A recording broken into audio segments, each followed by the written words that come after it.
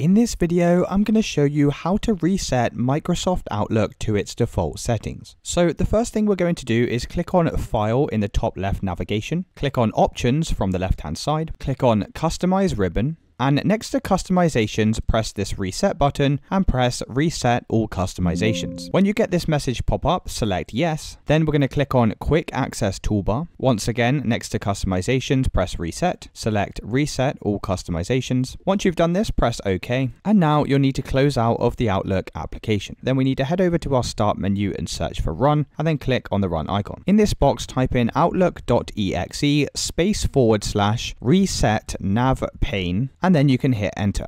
That's going to relaunch your Microsoft Outlook application. And once it's loaded, you can check to see if that solved your issue. If it's still not working, close back out of the Outlook application, head back over to your start menu and search for run and click on the run icon. This time in the search box, type in outlook.exe space forward slash clean views and then hit enter. Once again, wait for Outlook to open back up and we can then check to see if that solved our issue. If it's still not working, the final solution is to head over to your start menu and search for register registry editor and then click on the registry editor. From the left hand side, expand the folder next to H key current user, expand the software folder, then scroll down until you see Microsoft and expand this. Scroll down again until you see the Office folder and we're going to expand this. Click on 16.0 to expand the folder, expand the Outlook folder, and then scroll down and you need to select Setup from this list. Now you don't need to expand this, just select the folder like so. And next to where it says First Run, we're going to right click on this file, click on Delete, and then press Yes. Once you've done this, you will need to restart your computer and you can try launching back up Outlook, and that should have now reset your settings back to their defaults. If you did find this video